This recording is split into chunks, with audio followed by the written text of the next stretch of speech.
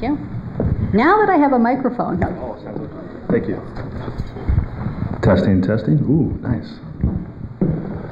Okay, uh, thinking about this, Joe Hill came to me months ago and, and came up with this idea, and I thought it was a wonderful idea because on Wednesday nights we are always talking about what's right in front of us a project, a license, entertain, wh- whatever it is. We never get together to talk about really big picture things 30, 40, 50 years in the future and with the public like this. So I thought it was a great idea. My vision, one of my visions for, I would say 30 years from now, is with education. Um, I I've been thinking about this for a while, and again, this is a vision statement, not how exactly we're going to how we're going to do it, how we're going to fund it. I think it, uh, it in two different ways. How do we bring uh, schools here? Schools of innovation, um, a school for uh, preservation in the arts, and for the environment. All things that we have here. So when I when I try to frame this, I try to think of what do we already have here that we can that we can accelerate, we can already use. We have, a, we have things here in our environment nowhere else has in the world. I think we could study those. And I also think June, July, and August, we're stacked up pretty, pretty high. But September to May, we have a room to grow. But how do we grow that's sustainable? How do we bring people here that are invested in our, in our island? And I think education would be the way to go. We have a closed system. We have a, an island that we can control and we can count how many people come here and uh, it's hard to do in any other community that's not surrounded by water so on one hand i think having a, a, a leadership school innovation whether it's uh, umass amherst or something we haven't even thought of and i know education is expensive but that, so that's one side and the other one would be what do we have here that we could use we have the best carpenters in the world we have some of the best artists in the world yogis chefs and if it's not the world, it's definitely in United States. So how can we use that to um, improve the skills of our current kids in school? So just uh, whether it's a fire station location or somewhere somewhere else, we have the, the Nantucket Public School of Innovation, and that's where kids go to learn half days to learn how to be a chef. So they don't have to go to Johnson Wales and spend sixty thousand dollars, uh, or whatever it is, carpentry, uh, boat building, whatever we're really, really good at. So I, I, try to find things that we already do really well and then and then blow them up. So for education, I think bringing people here to have schools for uh, for adults and also for um, public schools that are here. That'd be my dream for 20, 30 years from now to have hundreds of people coming from off island to study things on Nantucket or study innovation, entrepreneurship, and then also for our, uh, our public school system here. There it is. Thank you, Jason. And now I'm going to change things up a bit and go right to Matt. Oh, you fooled me. I was going to wait. now, Uh, so I'd say, uh, so at first I'd say I agree 10 years isn't enough. Uh, 30, 40, 50 years out, I would say that my top thing at this point would probably be figuring out how to save downtown. You know, in 30, 40 years from now, I'd like to see us have figured out how to have the pumps and the dikes and the stuff that's going to be necessary uh, to say, you know, otherwise, when you look at the models, it's a, a, foot or two of sea level rise and then, you know, seven or nine feet of storm surge. We need to be able to handle that. There are countries that do that. You know, in Holland, they look at one in 10,000, one in 100,000 year storms. We do one in 100 year storms, and they happen three times a decade now. So I think that, you know, 30 years from now, I'd like to think that we at least are partway on the path and that our downtown is secure. You know, that would be number one. Another one I would think about, uh, and I love like sort of the big picture and looking at the, you know, the big picture and things, and it's vehicles. I, 20 years ago, uh, I said, let's, limit, let's put a limit on vehicles. If we don't, here's what's going to happen. Everyone said that'll never happen. We voted it twice. Uh, and everyone said that will never happen. Uh, you know, it will never be that busy. We won't have that many houses. Well, now everybody is looking, saying, "Geez, they were right." What else did those consultants say? You know, and what and they warned us that we'll be closing downtown, and the streets will get worse, and you'll close some more streets, and other streets will get worse. So I think we have to figure out how to deal with that. And the analogy I've been using lately is a gondola. And I was in, and it sounds crazy, but I'll give you the quick story. I was in Telluride, hadn't been there in 28 years. They have two main uh, towns. One is their old town, and a guy that was friends of the Giffords here started a land bank, and they didn't spread out like suburban stroll in the main suburban style in the main town. They started a mountain village with seven, eight-story buildings, very dense with plazas. They linked them with a free gondola. They have 4.1 less million less trips in the last 20 years. They used to go up and down an eight-mile road. It was really dangerous. And so all of a sudden, there's their town, Aspen. You go there, it's like a small city with stoplights and pull-offs and buses everywhere. You go to Telluride, it feels like Nantucket still, feel, or like Nantucket used to feel, and it feels like it did then. So I've been saying at NPDC and at our meetings, I'm saying, what's our gondola? How do we get people out of the, willingly out of their cars because it's a better way of travel? And how do we and how do we do that? You know, is it, is it to get them from the airport to downtown to the Mid Island? You know, is it a gondola? Is it a you know, is it something else? You know, Transit X is sort of a crazy idea where they've got on a rail. You know, so there's there's things like that, and I would like to think that we've thought about it. And instead of 25,000 cars, we have five or 10,000 that are operating at peak season, and people are able to get from their door to wherever they need to go some other manner that doesn't require us to build, you know, Route 130 from Hyannis all over the island. So, but I could go on forever. Thanks, Matt. Rita? Sure. Uh, so, one specific thing that gets me really excited about the future on Nantucket is garbage. And I think that um, we have a lot of opportunities in front of us where this is an issue that is being faced globally, but as an island, the conversation is exacerbated, the issue is exacerbated, and we have certain things happening in the near future um, that are going to force us to innovate. And what I think about sometimes is the possibility of closed loop, like Jason brought up, zero waste. We talk about plastic bottles and straws and all this waste that we're generating. And I think with the technology that's available, there's possibility for things like 3D printing, where we could be making our own things on island. And that's a different kind of economy. It's a manufacturing economy, and that small scale manufacturing is the kind of thing that I get excited about. But I think for me, that's really couched in a, a bigger conversation around um, Nantucket and our environment. And what I really hope for 30 years from now, 50 years from now, is that as an island, we found a way to look at some of the issues we're facing um, at this point of tension, constant point of tension between the environment, between how we do things day to day, how we operate, and what drives our economy. And uh, we find a way where the protection and preservation of our natural resources um, drives economic prosperity.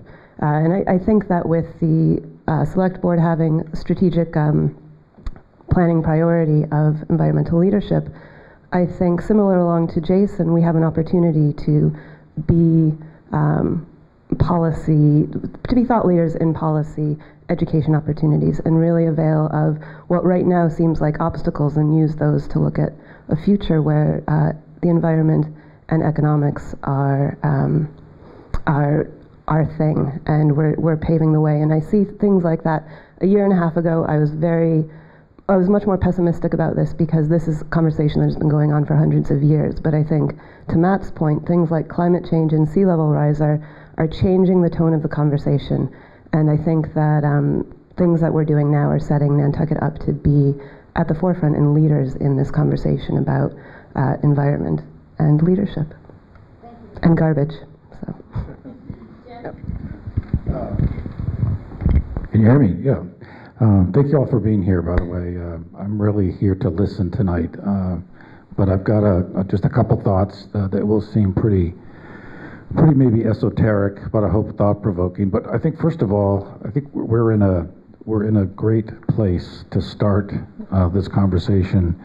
Uh, not geographic place, but we, we have a, a community that is uh, very financially sound. Our, our town is very financially sound as evidenced by Moody's recent uh, rating of us as a uh, AAA or bond for our AAA bonds. And it gives us an opportunity to try to do some experimentation that many of us have spoken about. There are a couple of things I worry about, uh, and it's really both, both on the economy. Um, I worry about ha not having a robust uh, fishing industry. That's what we're kind of, that's one of the, one of the roots of our community. I also worry about, and maybe this isn't a good analogy, but when this community went through a, a big depression when the whaling industry kind of went away. But, um, you know, at some point, you know, we, we, we owe a lot to our economies based on real estate and construction. And at some point, maybe I'm naive, but there, that will wind down. I mean, there's only so much land that we can build houses, and so only so many times houses can be torn down and built up. But what we have to be thinking about opportunities, uh, uh, professional opportunities for those folks that engaged in those industries. Really to, and also finally to uh, Jason's point, we are a captive uh, audience, if you will, in a community. Um, in my business in healthcare, people who wanted to start insurance companies like HMOs would say, well, we can never find a defined population of people to try to improve their health, whether it's smoking cessation or whatever, because they'll move to a different town or a different health plan. So it doesn't, it's not financially viable for us to do that. Well, that's not the case here. Um, and I think we have an opportunity, whether it's from health or education, to really try some pretty innovative things. And I'll leave it up to you to decide what those are. Thank you. So I, I can really shout.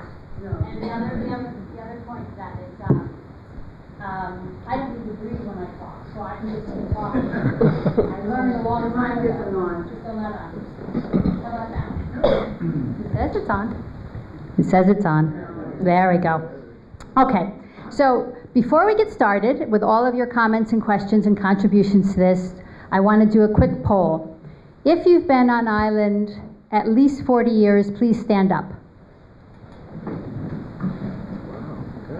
If you've been on island 30 years, stand up. At least 30 years, stand up. 20 years? 10? And less than 10? See, I thought everybody just needed a little bit of exercise because it's cold outside. But I think what's great about that, or my quick informal poll, is that you all get to see that we have a really wide tranche of who's here tonight. So it's people who've been here more recently and people who've been here a little bit longer. And the other poll I want to ask is how many people have read the Nantucket Strategic Planning Framework on the town's website? Show of hands. Okay, great. Thank you very much. Now, who would like to go first? We also have, oh, let me tell you one more thing. See, this is what I keep doing. Let me tell you one more thing, which is what tonight is not. Tonight is not to talk about current things. There's lots of forums for all the current things going on. Tonight is really to talk about what will happen 2040, 2050. So, as and when you bring up something that might be current, please frame it for the future. Thank you. And we have cards, so if, after you've asked your question or made your comment, if you would write it down and then hand it to me at the end, we're going to collect them all and just create a document of all the input that we got tonight. That would be super. Thank you. Who wants to go first? Barbara? Oh, Michael. Thank you. Hi, hi guys. Introduce yourself, everyone. Yeah, I, well, yeah, I'm Michael I. Kopko. Hi, everybody. Hi, neighbors. I think January, we all know each other pretty well. Um, thank you, thank you guys for being here. And Jason, you'll be pleased to know that um, we are starting a education program at the theater. Um, Sarah Lawrence College has brought their film school here for three months. And so we will be a college campus in town for three months. They've taken the two yacht club dormitories for their students, and then our theater and office building will be their campus. So uh, hopefully there'll be a place for these kids to get a cup of coffee and a sandwich uh, now and again. But I, what I wanted to talk about the future was that I think that we can all agree that there's not an infinite capacity to grow on the island. Uh, I don't think that's a question. So the question then becomes, where is that threshold? When do you get to that point where you say, that's enough?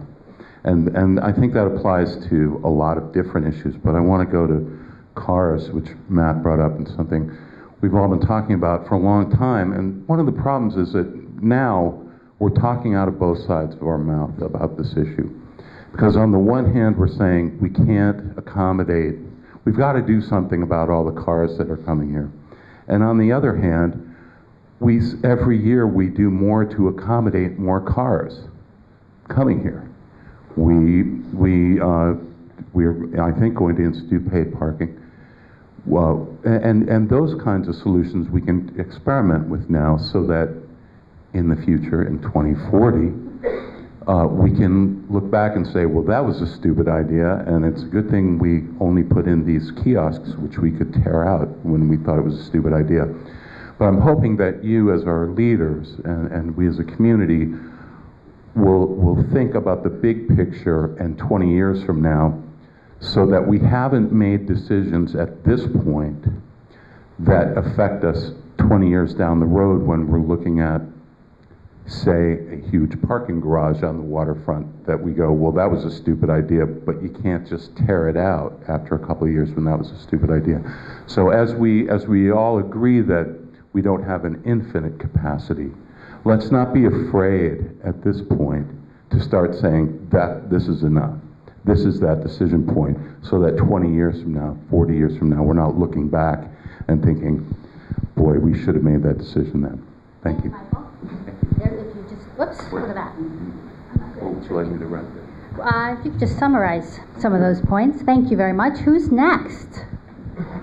Oh, please, I'll call on people. Thank you. I like calling on the people in the back because that's why they tried to hide. Thank you. I'm Charlie Stott, uh, representing the uh, Nantucket Civic League. And first, I want to commend the uh, leadership of the town for uh, embarking on the development of a coastal resiliency plan under the direction of Chuck Larson.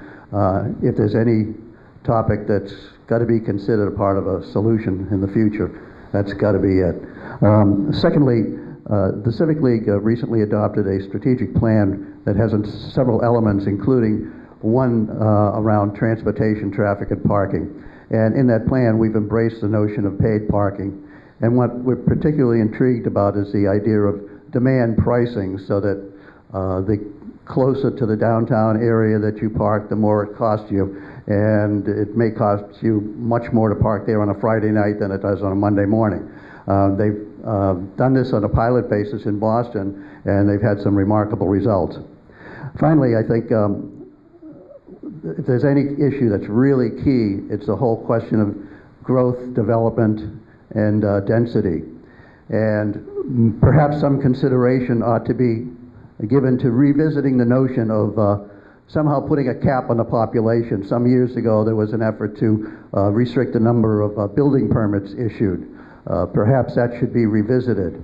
Um, And, and in particular, we ought to look at zoning changes. And I've talked to the chair and finance committee, um, uh, Brian Turbot, about uh, a different approach. It may be difficult to do, but we ought to at least consider it. Anytime a bill is introduced in Congress, it's scored by the Congressional Budget Office, so the, the legislators know, the members of Congress know exactly what it's going to cost. Um, state legislatures do the same thing, a fiscal impact. And maybe there ought to be an environmental impact statement as well, but at least a fiscal impact statement. So that when voters go to town meeting to consider a zoning change, uh, they ought to know how much uh, additional revenue, tax revenue, will be uh, generated as a result of this zoning change. And they ought to have an estimate as to how many, how much the school enrollment is going to increase, or what's the impact on the infrastructure, road maintenance, and the sewer system. So that's something that we'd really like to see considered. Thanks so much. I'll give you a, it's always easy to hand you a paper afterwards and say, please write all that down. And you know what I find interesting about your comments is, yes, a lot of them are maybe top of mind now, but if you think about it, imagine a future where all of that transparency is available to us as a voting community. That we know that when we vote on something, we understand the full total cost of ownership to us as citizens and as us on the island as to what that can happen. And that would be one of those things that in 2040, 2050 would be outstanding to have. Okay, um, who else? Tobias. Great. So my name is Tobias, Tobias Glidden. Thank you, Denise. Yeah.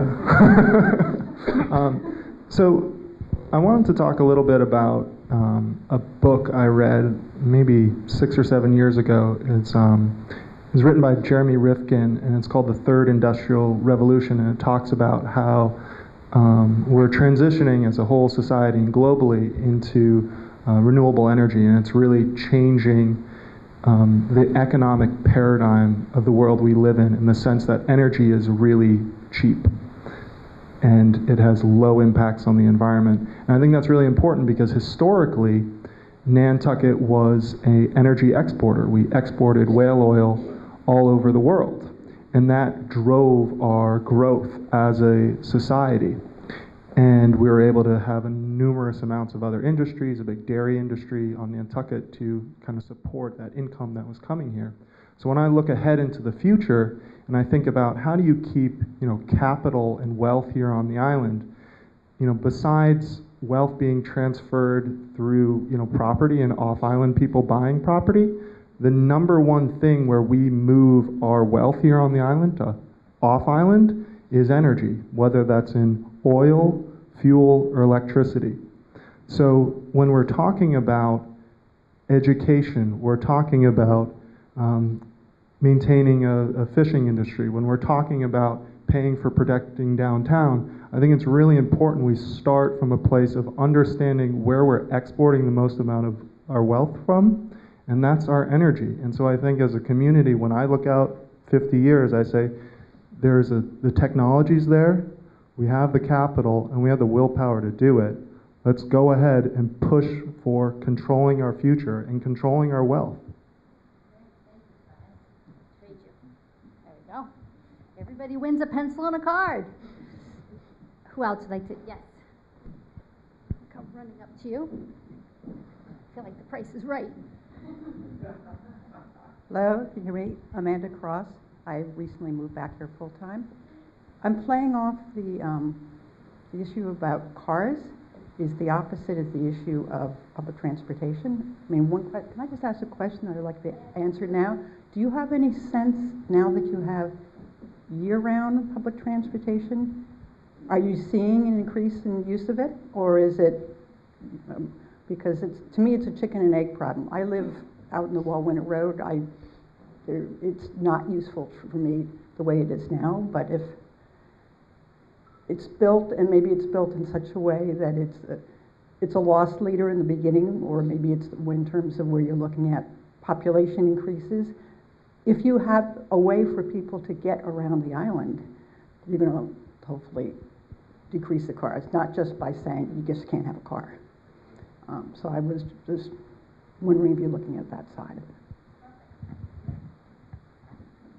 And you have to do coastal re- resiliency like now. It is not 10 years from now, it is now. Amanda, thank you. David? Yes. I'd be happy to answer some of that if you want, Denise. Yeah, go ahead, Jason, and then I'm going to. Okay, I'll do it really quick, and I know Matt has a lot to say. So, I, I, the the loss leader is it is that way this year. We have to do it for one, two, three years to get people used to it.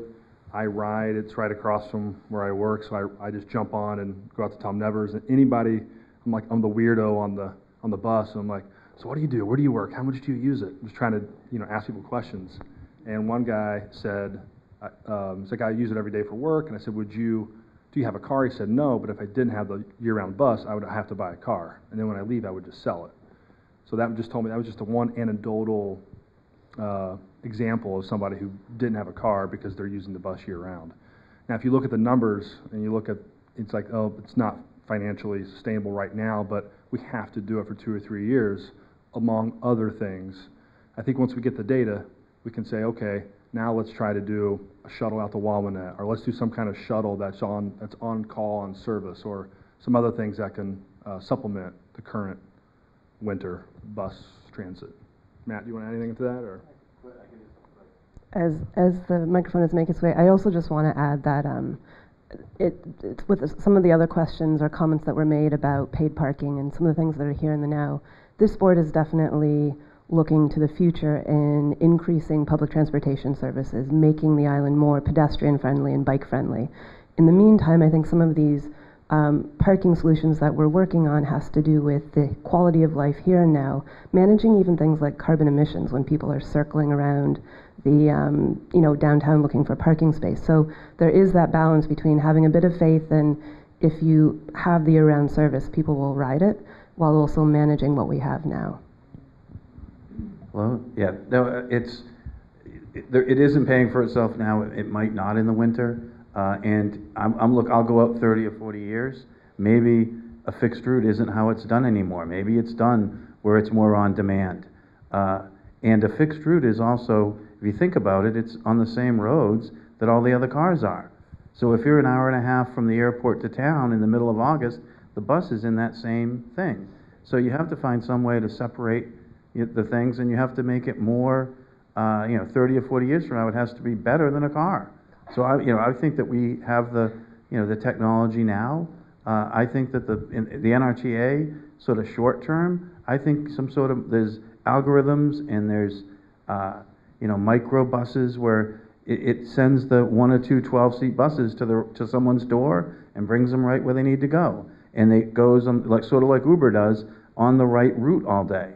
And something like that, we might go from having 100 people a day, like we have now, up to three or 400, and it might start to make sense. Uh, the downtown parking could help fund all of this. It would, ho- it, would, it would dampen demand, it would provide income, and it would start to give a revenue source to deal with some of these issues in a more proactive, positive way, not just saying we're taking your cars away. So. Thank you, Matt.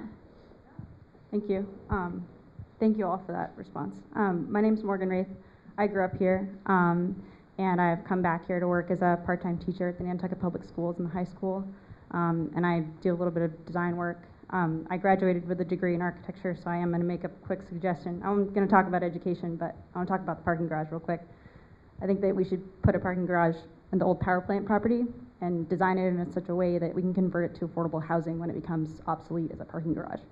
Um, I think that'd be a pretty solid idea because eventually we're not going to have cars, but we can stash them there for a bit and then design that in such a way that we can put people there when we need to because we're going to increase in density no matter what. Um, I remember what this place was like in the 90s and even as, as a kid, and um, it's way different now, um, and I'm sure it's just going to keep increasing. What I would love to say about education is that we have an amazing vocational technical department in high school um, that I've had the great pleasure of working in for the past two years. Um, I teach a landscape program there, and I, we also have auto tech, carpentry, um, culinary, criminal justice, and nursing. Um, the thing about the carpentry and auto and landscape programs is the kids are getting into there and they're learning how they can make money, how they can be self-sufficient. They're learning incredible skills. Um, but what we're grossly missing is some kind of marine biological and aquaculture program. Um, so I want to, I guess I want to combine two of the comments made by the select board about education and then about a fishing culture that we've totally lost. Um, and I think that there's a lot that we can do as far as, I think I see some other young faces in here, but I definitely would like to see more. And I think that there's a lot we can do in the future to engage young people um, and get them concerned about what our cultural heritage used to look like um, and how intimately that was tied to the ocean. Um, that's, that's a lot. That's my big vision for Nantucket. Thank you. David, more Price is Right. Thank you, uh, David Worth. Um, So this actually plays right off of what Morgan just uh, said. Um, Excuse me, what I think about for the next, uh, in the next 30 years is uh, the economic diversity and opportunity here on the island. Um, We're a tourist economy. Uh, We, obviously, many people make their living off of that tourist economy is going to be and will remain fundamentally a low wage, and this is relative, low wage economy.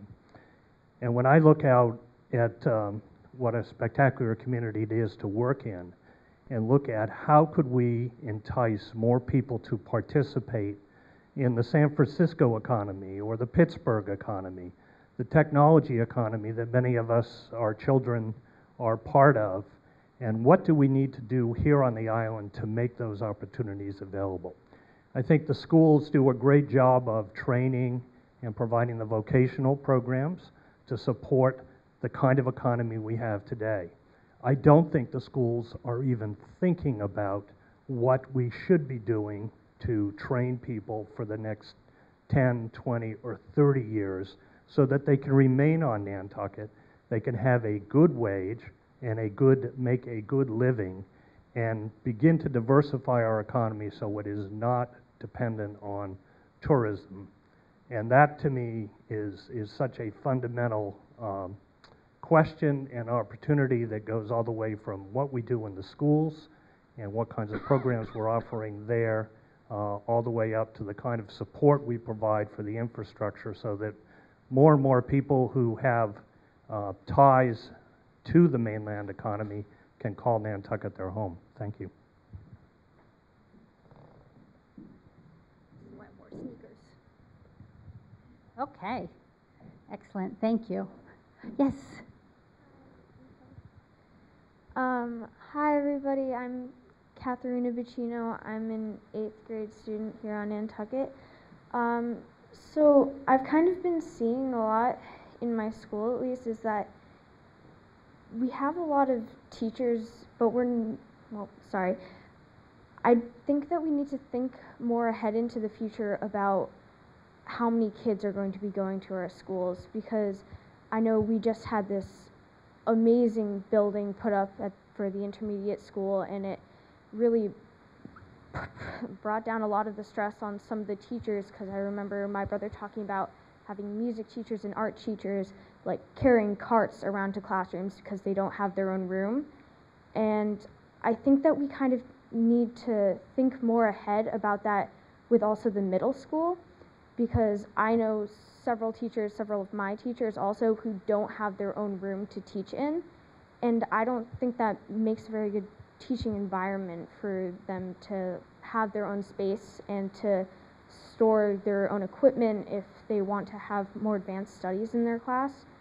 So I think that we need to, like, I don't know, find a way to project how many kids we're going to be having in the future, not just the near future, but we want to make sure that we can have a building that will be able to support the increasing amount of students coming into our schools. So, yeah. thank you. Yes.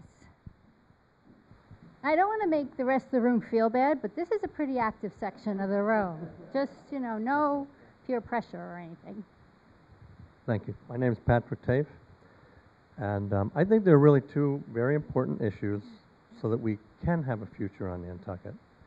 And one of them would be to have a feasibility study done to determine the carrying capacity on the island. My, my biggest fear is overdevelopment. I, I think we're being overdevelopment, overdeveloped.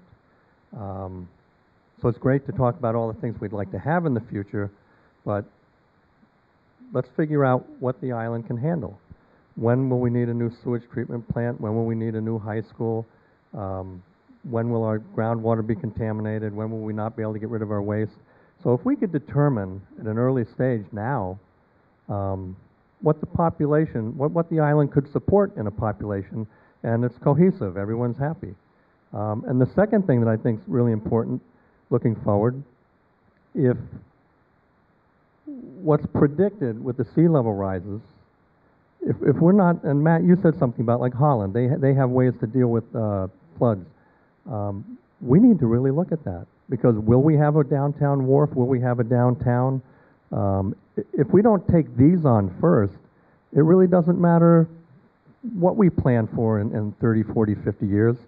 Um, we either may not be able to do it or people just won't want to be here. Um, I just think we need to figure out how many people the island can support um, because we are finite. And because we are finite, I think we can do it. Thank you. Thank you. Okay?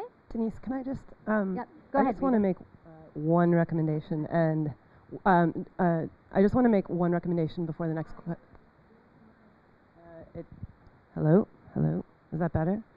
Uh, not on. Um, I- just very quick because there's a, quite a, um, a couple comments that there's a there's a couple themes coming up and it's carrying capacity, limits to growth, education, investment in education, investment in the next uh, industry economy, what comes next. And it's a book actually that Matt gave me, and it's by Woody Tasch, who is here on Nantucket, and it's called Soil. And it, it's um, for pretty much everyone that has asked a question. It it really sets a, a sort of a new framework for how to think about again, all these things that are coming up that we've been talking about for so long since the Industrial Revolution, but again, because of coastal resiliency, because of carrying capacity, because of space, because of more people and density, we have to think about it differently and we have to think about our economies differently. And so it's uh, just a book recommendation that I wanted to make to everyone because it's very interesting and it helps with that conversation and looking at how we frame that. And he does have some Nantucket experience, so I think it's a good one. It's called Soil. Thanks, Rita. Peter? Hi, my name is Peter Schaefer. Um, mine's more of a caveat than a, than a suggestion. Um, we have to remember that tourism is always going to be the base of this island. Uh, 30 years from now, I assume tourism is still going to be our biggest producer of income on the island. And my caveat is big city solutions to problems aren't going to work on Nantucket. So when we talk about congestive pricing, or we talk about parking meters, or whatever we might want to talk about, that's I'm just talking about parking, but in other issues as well, those solutions take away the magic of Nantucket. And I think we, we need solutions for all those problems, but I don't think we can use the Boston solution or the New York solution to solve them.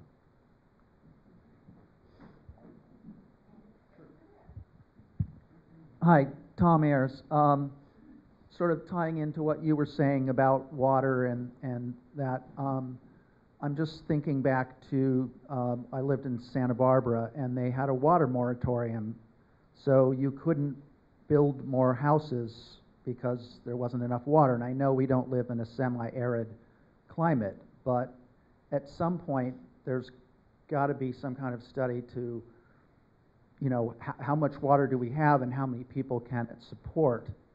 Um, and, you know, at some point you have to put in some kind of moratorium. And, you know, in that case, the only way you could build a house was to on an existing footprint.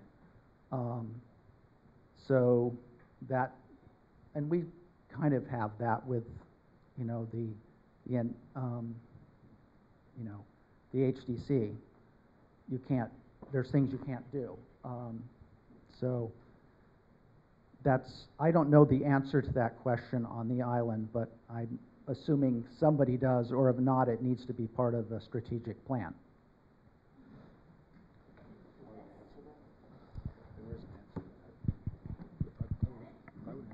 Who's next? Yes, Christy. No, just kidding. Kidding, joke.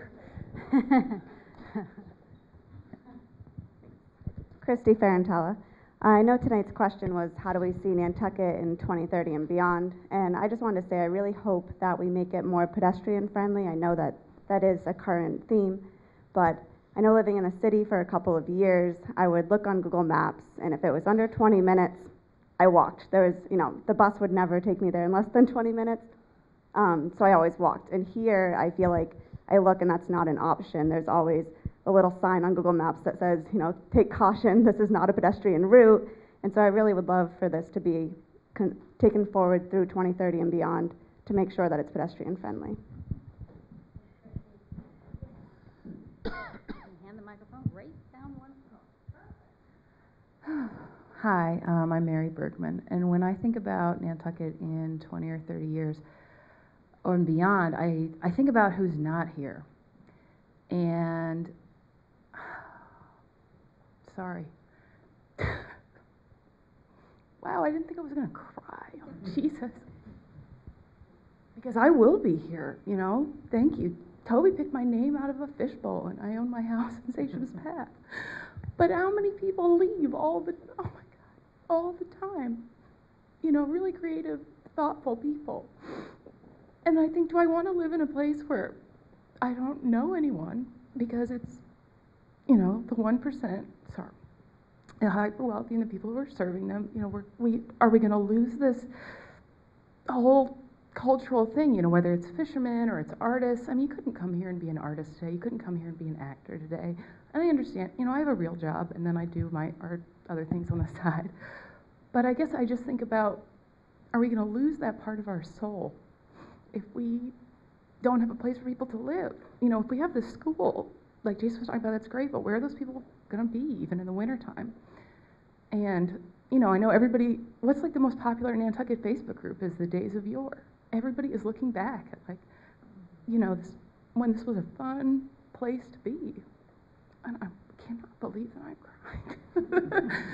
but so I guess that's what I think about is how do we maintain that authenticity that makes people want to come here because that is a big part of why people are attracted to this place because it's real. But are we going to lose that if we don't have all the things that we've discussed? So, okay.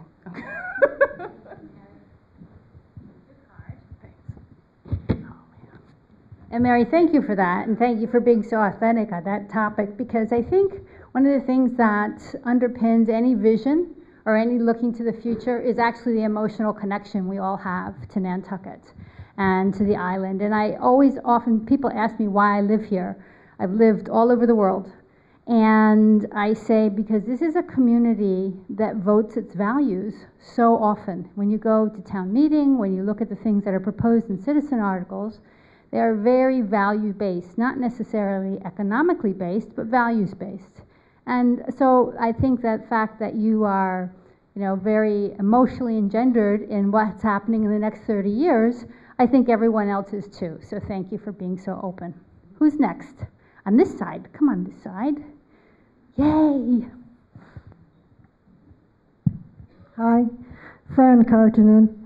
I have something really prosaic, but 40, 50 years from now, I hope that there will not be a single utility pole or overhead wires to be seen on the island.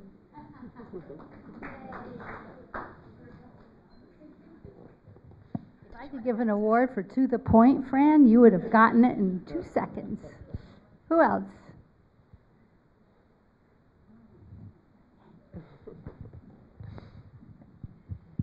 Hi, I'm Holly McGowan. Um, I would like to see that we progressed more in, in uh, helping to solve our behavioral health needs on the island. I think that we have so many gaps um, in our system, and um, and that it's uh, you know it has an impact on the health of our community members. And if we're going to be a healthy community and in other ways in terms of the environment and um, sustainability, I think it's equally as important to have uh, health for our, community, mental and physical health.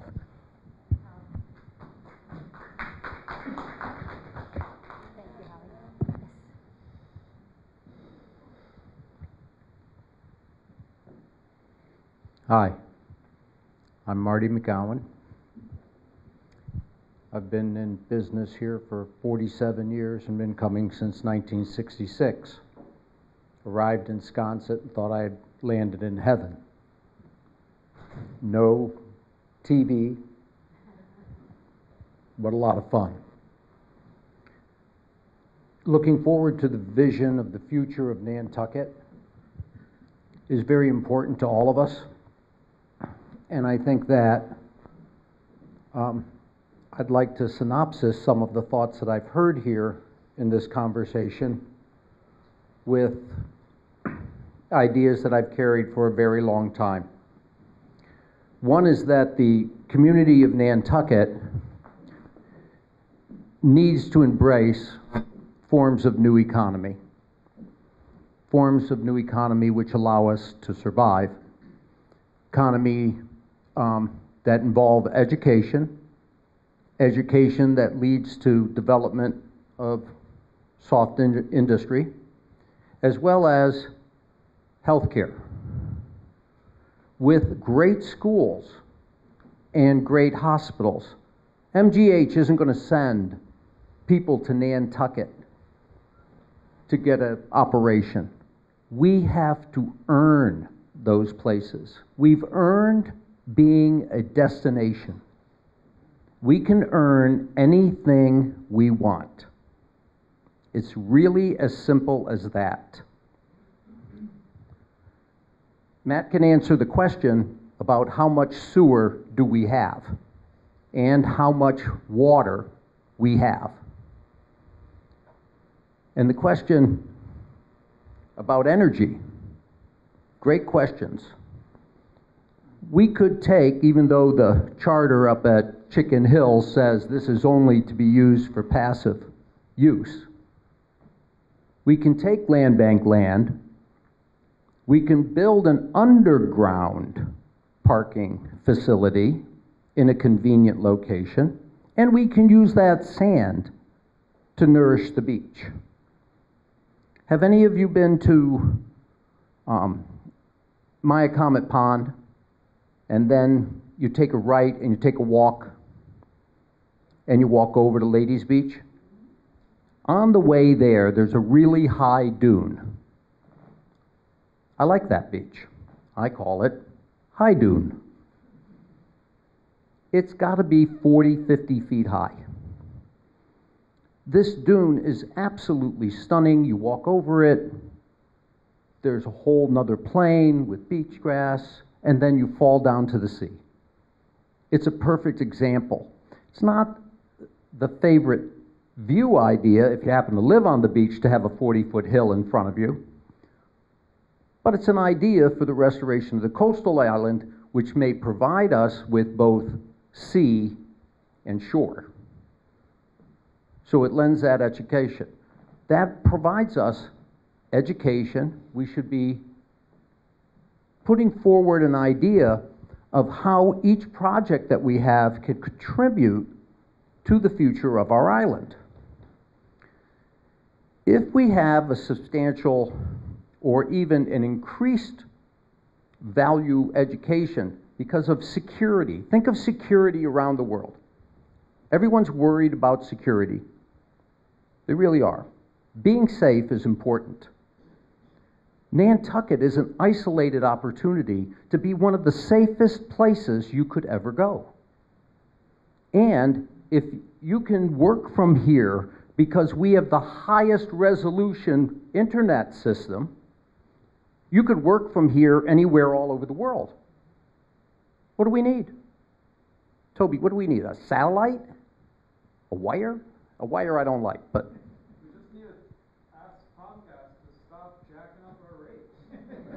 Don't jack up the rates, jack up the power. So, in, in the future of Nantucket, I'd like to step off the sidewalk, step out of my car, and I don't want to step into a pile of mud. I want the sidewalks to go to the street. I don't want any telephone poles. I think we got charged a tax for years, right, to take down all the telephone poles in town, which we paid for, which the electron, electric company kept the money. I don't even seen those poles go down because of that millions of dollars that we collected. I'm not finished. I know. So- But you will be in a minute. So in the future, we have convenient, safe areas to tra- in town for us to get to. We think about our projects as how they benefit our coastal wetland, and we buy a Generac that eats all the garbage on the island and produces energy for the island. And we're done with that one too. So all of these things, they're doing it in Norway right now. And that's it. Thank you. You go. Well, I'm not writing that down. Uh, you can summarize some of the key points would be lovely. Thank you very much. Okay. You know, there's always someone that invites me to help them finish. Anyway, yes. Hi, I'm Pete Sendelbach. I just had a question. I feel like about 20 years ago, we worked really hard to come up with a comprehensive plan, and then we didn't hear much about it after that. Uh, where is that, and what happened to it? That's you, Matt. I, it went, it went, well, I could be wise. I could be wise about this, but uh, some, some of it has been implemented, a lot of it hasn't. Uh, some of the people, like we talked about Woody Tasch earlier, who founded Sustainable Nantucket, were disappointed in some of the actions that happened in our planning department, and they quit and left the island. Uh, so I think, you know, but I think, think some of this is slow going. And, uh, you know, and the changes, you move at the speed of government. And I say that, and I get dirty looks from the people that work in government, but that's the truth. It moves slowly, and some of it has changed. Our, you know, our finance department's a lot better now. We have, uh, you know, the, the, I, I wasn't even at the MPEC meeting, and they put car limitations back into the transportation plan. So I think there's been, there was slowly building an awareness of sustainability, of limitations, et cetera, that weren't there. Uh, we're at the point now where there has to be an update to the, uh, what, the master plan, which, uh, hopefully will be more than just, you know, someone writing it and, and doing what you know, sort of, I hope it'll be inclusive and people's voices, especially on these big issues, will be heard so that we do have sort of more a blueprint and something to aspire to to do better is what I would say. Uh, I'm not happy with some of the implita- implementation, but some of it I am happy with. So. Thank you, Matt. So I'm very respectful of all your time. It is almost 6:25. We are scheduled to finish at 6:30. So I have another poll question for you, and then I'm going to ask each of our select board members to kind of summarize and wrap up so I don't have to do it. So get ready, select board members. Was this useful? Would you want to do something similar again? And is an hour probably the right amount of time? Okay. With that, I'm going to turn it over to Jason to, well, Jason, I'll have you go last. Rita, you go first this time. Uh, I, I just really want to thank everyone. I think everyone's comments uh, were very insightful, and it's, it's actually an amazing forum to be able to sit here and listen to um, what the community has, uh, what is on the top of your minds. And I think that many of the things that came up are on the top of our minds as well, and we are trying to figure out how do you, again, address them in the here and now, but keep those visions into the long term.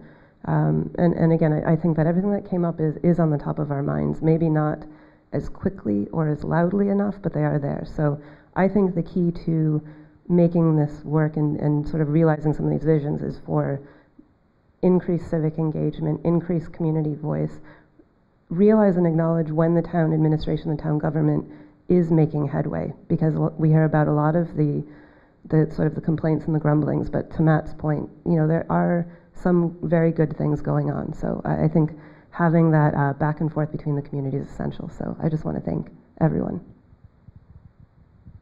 Jim, please. Um, probably, I don't know if it's against the rules to bring up a new issue, but one thing I wanted to speak to, and I did, and I really didn't hear much of it, was how do we really become a more of an integrated community? Um, how do we, um, and I guess I'm reflecting on the, um, you know, the tragedy of uh, the terrorist act at the Africa Meeting House, and how do we um, involve people of color? How do we involve people, the immigrant community in our community?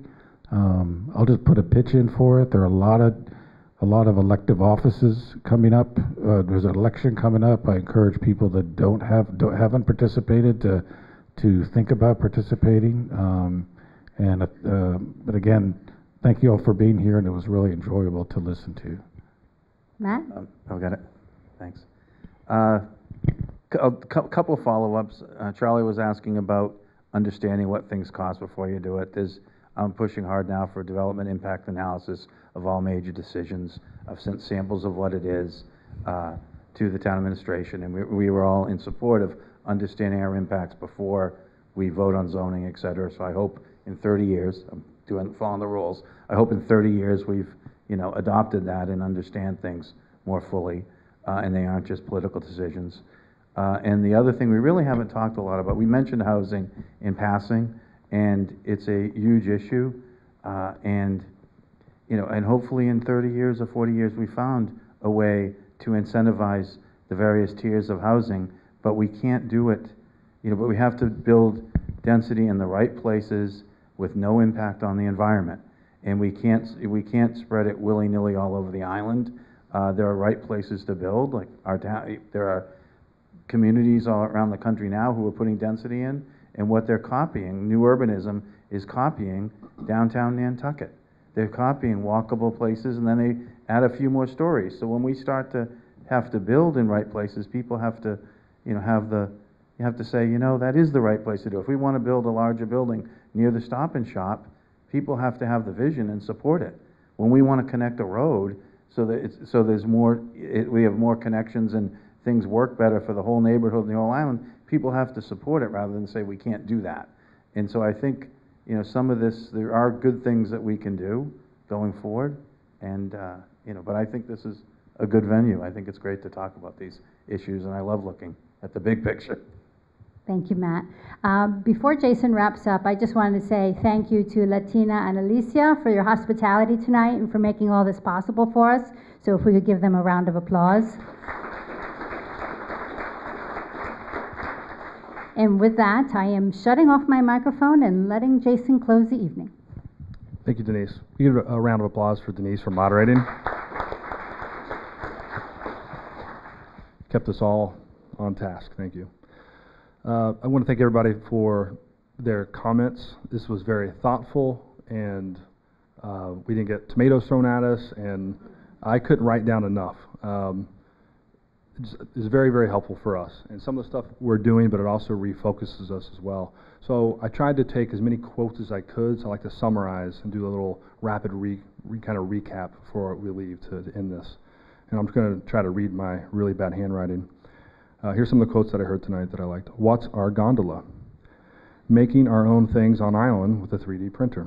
And these might not, my, the quotes might not be perfect, so I apologize. Um, Third Industrial uh, Revolution book. We'll look into that. We move wealth off island through energy. Design a parking garage to be converted into housing when we don't need it anymore. Diversify economy so it doesn't depend on tourism. I think that was a theme we heard a lot.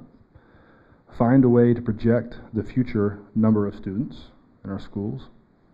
Will we have a downtown 30 to 40 years from now?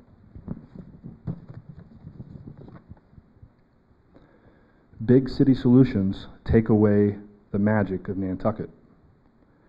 We should be more pedestrian friendly. In 30, 40 years, who is not going to be here? I thought that was a very, very good uh, way of thinking about it, Mary. Uh, a community that votes its values. Uh, I hope there will be no utility poles. Nantucket needs to embrace new forms of economy. A couple left here. We can earn whatever we want. Don't jack up the rates, jack up the power. Thank you, everybody, for coming.